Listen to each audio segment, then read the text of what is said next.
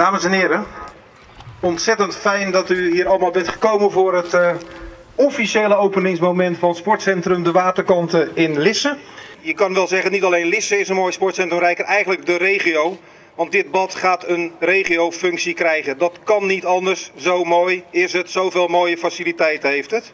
Ja, hier staat een, uh, een, uh, een trotse bouwer. En uh, samen met Pelikaan hebben we dit mogen realiseren. De gemeente Lisse is ontzettend trots op dit zwembad, op dit sportcentrum, op deze plekken en alle voorzieningen die hier bij elkaar gebracht zijn.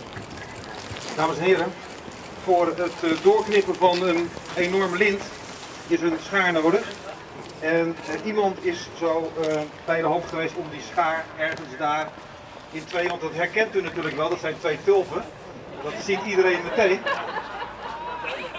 En vooral de blauwe tulp vonden wij erg leuk. Want die bestaat volgens collega van mij niet en die had echt niet in het sportcentrum gekund. Maar we hebben het toch stiekem gedaan.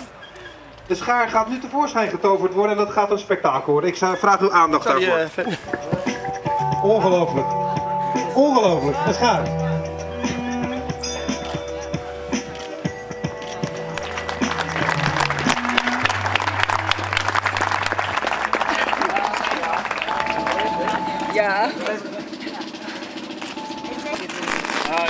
Nog niet. Meer zo. Yes! Het is eigenlijk meer dan wij hadden verwacht. Je begint aan het project en je hoopt op een zwembad met wat recreatieve faciliteiten, maar dat het zo'n zwembad wordt en zo'n uitvoering kun je niet voorstellen. Een sporthal die gewoon luxe is uitgevoerd. Heel veel recreatieve faciliteiten eigenlijk moet ik zeggen, zoals een glijbaan, een whirlpool, een kreek, noem het allemaal maar op. Maar ook een sporthal, een grote sporthal, een mooie sporthal en nog eens een keer twee gymzalen. Dus uh, uh, niet alleen maar een zwembad. Maar ik hoop natuurlijk dat iedereen hier eens een kijkje komt nemen en enthousiast wordt voor dit bad. En dat we ze regelmatig zullen gaan terugzien, want ja, dit moet gewoon een succesnummer gaan worden.